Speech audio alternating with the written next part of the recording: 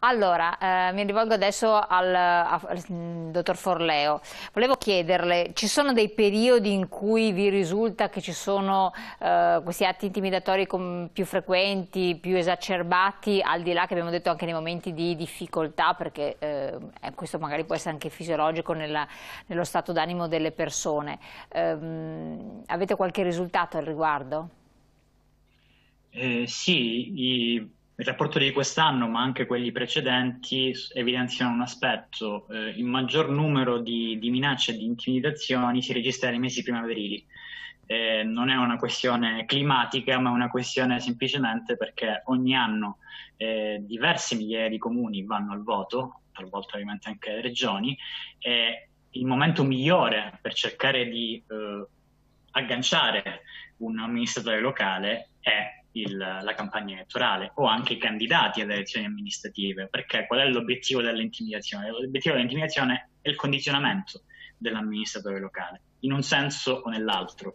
E, ehm, ogni anno da aprile a giugno vediamo che l'incidenza del numero di intimidazioni aumenta in quel periodo e vediamo soprattutto che i casi sono molto spesso rivolti a uh, neocandidati alle elezioni, alle elezioni locali, quindi persone, cittadini, professionisti, persone che mh, per bene che vogliono eh, porre la loro competenza al servizio delle, delle comunità e dei territori.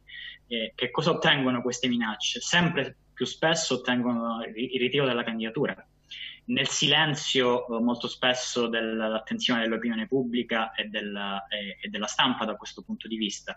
E, ehm, è un secondo, perché un, secondo obiettivo del, dell'intimidazione non è semplicemente quello di spingere le persone per bene a farsi da parte, ma anche eh, cercare, come dicevo prima, di eh, agganciare candidati che potrebbero essere poi successivamente essere propensi a stringere eh, rapporti collusivi o, o corruttivi. E su questo l'attenzione deve essere, deve essere massima, eh, in, proprio in quel periodo di, eh, di campagna elettorale che porta alle elezioni amministrative. Adesso stiamo vedendo, causa pandemia, che adesso entriamo, entreremo in un periodo di campagna elettorale per elezioni locali ed elezioni regionali. E l'attenzione non deve essere massima solo da parte della magistratura o delle forze dell'ordine o della stampa, ma anche da parte dell'opinione pubblica. Eh, quando un amministratore o un candidato alle elezioni amministrative ritira la propria candidatura eh, a, dopo un atto intimidatorio, questa è una sconfitta per la democrazia, ah, sì, in primo luogo una sconfitta dei, dei, cittadini, anche perché sono i cittadini i primi beneficiari o le prime vittime a seconda che vengano elette persone libere o condizionate da logiche criminali. Quindi questo è un periodo assolutamente, un momento assolutamente centrale eh, in cui la guardia deve essere alta più del dovuto. Ecco. Ci sono atti eversivi, con intento eversivo? Al di là magari del, del, credo politico, magari partiti opposti, proprio per l'eversione, l'antistato cosiddetto, con l'intento di sovvertire l'ordine. Sono, vi sono atti in cui vi è una chiara uh, connotazione uh, politica estremista, sia di destra che di sinistra, sì. Vi sono dei casi in cui il sindaco viene colpito, soprattutto in quei territori laddove questa uh, divisione molto, è molto sentita, eh, vi sono degli atti che richiamano a estremismi che sembravano superati di entrambe le sponde, ma che, che richiamano ecco, segni, segni, segni antichi e un passato che purtroppo è ancora presente.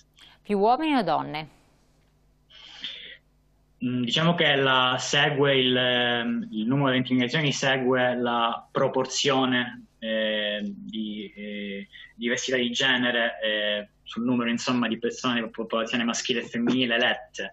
Eh, quello che è interessante notare è che eh, non vi è una distinzione di genere nel, genere, nel tipo di, di, intimidazione. Cioè se devo intimidire un amministratore uomo o un amministratore donna, non mi faccio il problema di utilizzare o meno, che possa essere la lettera o possa essere l'incendio dove viene fuori una, una, differenza di genere sono i social network, perché ah. molto spesso le amministratrici locali donne eh, vengono intimidite, eh, insultate, eh, eh anche in collegamento con, con, con, loro genere, quindi con il loro sesso.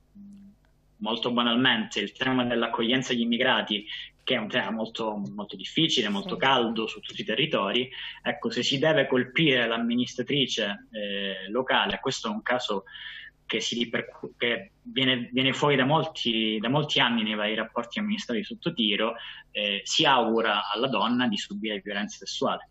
Eh, purtroppo è un qualcosa che sui social sappiamo essere terra di nessuno e molto spesso è qualcosa purtroppo molto diffuso. Assolutamente. Assessore, chiedo a lei l'intervento.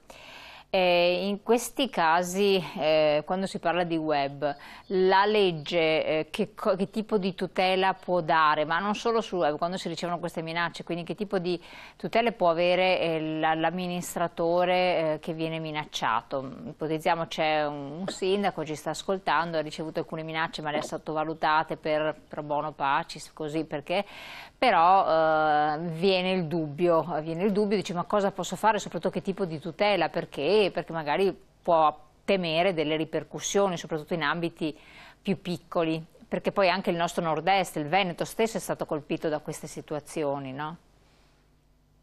Assolutamente sì, ma diciamo la tutela oggi, la minaccia, eh, l'ingiuria corrono diciamo, eh, come corrono diciamo, in passato appunto le, le, le modalità di, di manifestazione, di, di, di, costituzione di questo tipo di ehm, diciamo, elemento del reato erano diciamo, verbali o per scritto. Oggi appunto tutta la normativa penale si è ovviamente adeguata, dal, in primis la giurisprudenza e poi anche il legislatore, a diciamo, pa parificare quella che era la tutela per colui che a voce ti dice qualcosa oppure ti manda la lettera scritta, tutto quello diciamo che invece corre online, per cui insomma la tutela, mi pare che in questi casi qua non si possa che ehm, richiedere soltanto una tutela diciamo dal punto di vista penale, quindi una condanna dell'azione eh, diciamo intimidatoria. E poi è sempre fatta salva diciamo la possibilità eh, da parte dell'inti- dell'intimorito, per così dire, di chiedere il risarcimento del danno, che ovviamente si configura come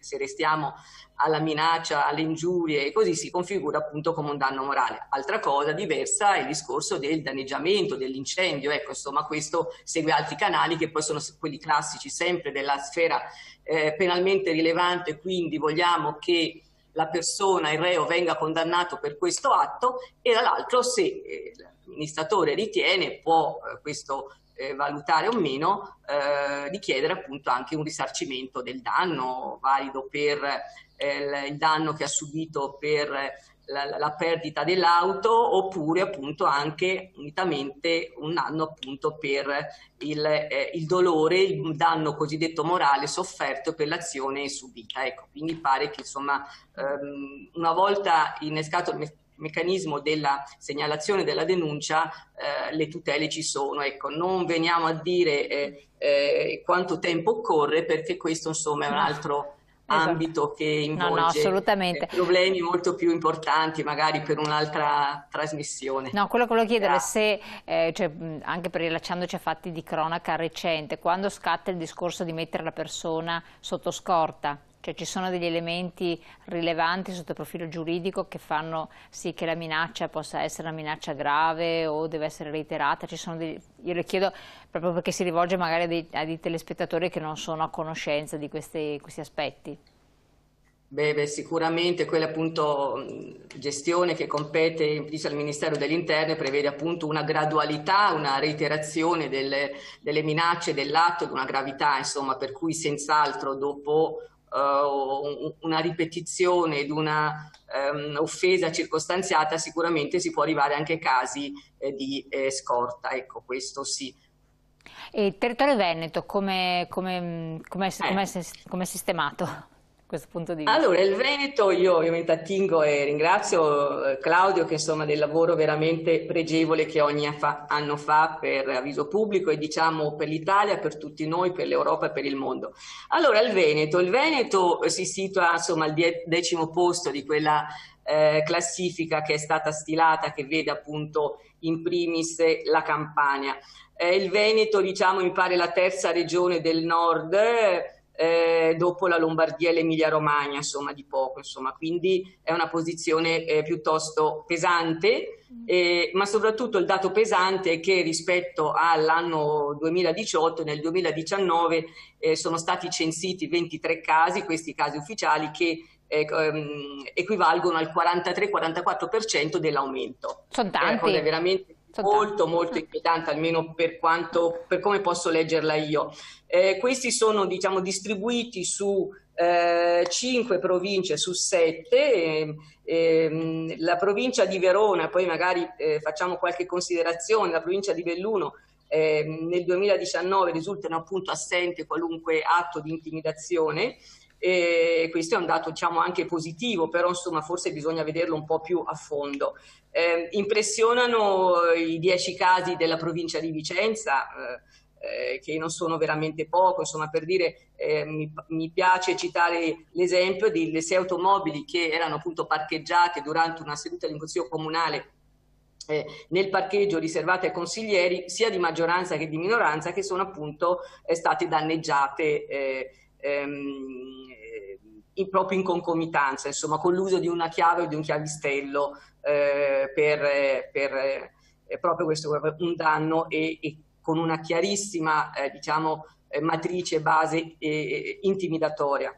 Poi Mattezza sul Brenta che è andato in fiamme l'auto di un assessore allo sport che era candidata al Consiglio Comunale. Abbiamo poi il caso veramente molto grave, molto grave e veramente eh, particolare che eh, specifico del, dell'assessore regionale all'ambiente eh, Giampaolo Bottacin che nell'agosto del 2019 ha ricevuto una lettera con minaccia di morte, la, la frase che dicevo un po' prima, eh, sei morto, e, mh, nella propria cassetta della posta nella sua abitazione perché eh, questa da che cosa era scaturita questa azione? Dal fatto che l'assessore regionale aveva inviato ai 571 sindaci veneti una lettera eh, chiedendo di dotarsi sui, sui territori di competenza di una videosorveglianza contro roghi dei rifiuti. E qua eh, si va appunto a toccare un ambito che è quello della raccolta dei rifiuti e la gestione dei rifiuti dove sappiamo che le organizzazioni criminali veramente eh, la fanno eh, non dico da padrone, però sempre più da padrone. E la realtà del nord-est e questo appunto è uno di quegli ambiti eh, imprenditoriali dove veramente eh, si, si, corre il rischio. Questo si interseca con gli ecoreati che eh, appunto nella nostra regione eh, fanno i conti tra organizzazioni criminali eh, di vario tipo e che sono legate talvolta anche a doppio filo con de- alcune classi imprenditoriali. Quindi insomma questo atto che ha ricevuto il nostro assessore veramente fa molto molto pensare e fa soprattutto molto male. L'assessore ha detto si va avanti ovviamente senza se e senza ma e, e questo fa solo onore perché noi dobbiamo soltanto appunto mai eh, abdicare a quella che è la legalità, mai quello che noi riteniamo sia rispetto delle regole, eh, l'uguaglianza veramente dei, dei cittadini. Ecco.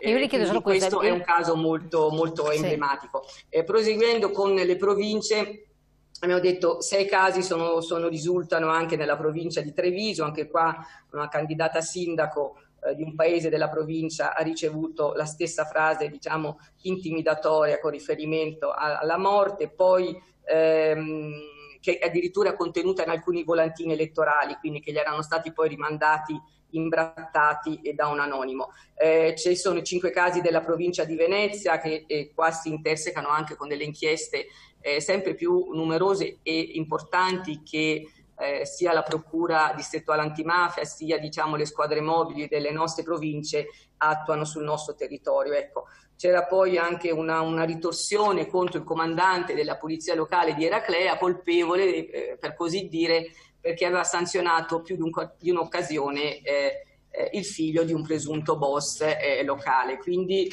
eh, pesante, insomma, veramente qua si vede, si va oltre, queste sono veramente le intimidazioni che hanno proprio una sfumatura, una matrice veramente criminale, non è tanto il cittadino che magari non ha avuto il certificato di, eh, di edificabilità di un suo terreno, ma qua veramente si va molto più in profondo e molto più eh, pesante. Poi abbiamo le province di La Padova e di Rovigo che hanno, almeno quelli che sono stati segnalati risultano nel rapporto un caso a testa. Verona appunto è proprio è la provincia in colore bianco insieme a Belluno, eh, sì che Verona ormai insomma da circa da quasi un anno è, è oggi la città eh, con il più alto numero di residenti, 260.000 circa, che ha superato appunto l'anno scorso, di, di, seppur di poco al momento, ehm, eh, Venezia Mestre. Ecco.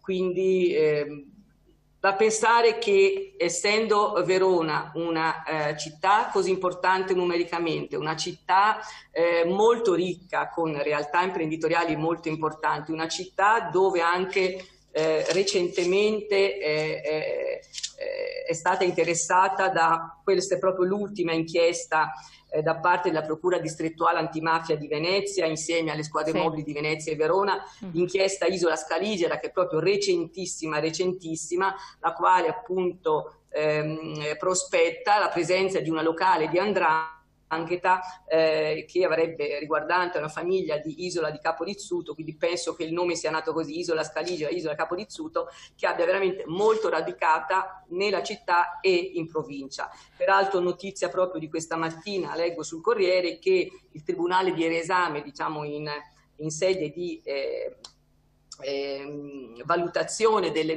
degli ordini eh, di, di, arresto, di arresto domiciliario, detenzione di eh, qualche giorno fa addirittura praticamente se non integralmente ma ehm, riconfermato queste ipotesi investigative. Quindi, ecco, se le interrompo un attimo, eh, Assessore, perché dobbiamo la pubblicità che incombe.